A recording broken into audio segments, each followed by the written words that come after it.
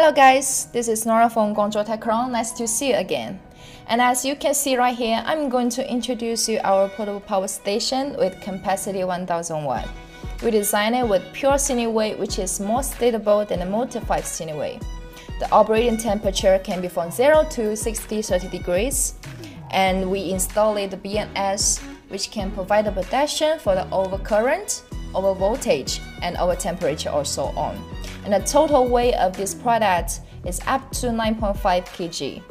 So for the next step, let's come to have a look for what's inside the box. So here we're gonna use a manual, AC adapter, and all these items are customizable. So let's take a look for the front face.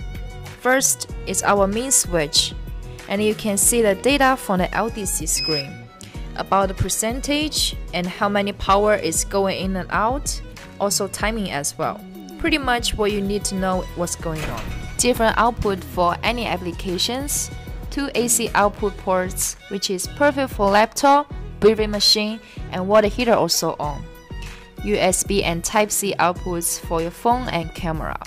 Also two ports for cigarette lighter as well. Two different input ways for charging our product. First one will be by the AC adapter you can charge it via AC outlet in your house and also can be charging from the solar panel.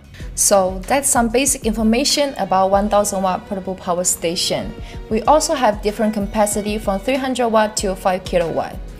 If you have more information that you want to know about this product, please feel free to contact us. Hope to see you next time. Bye.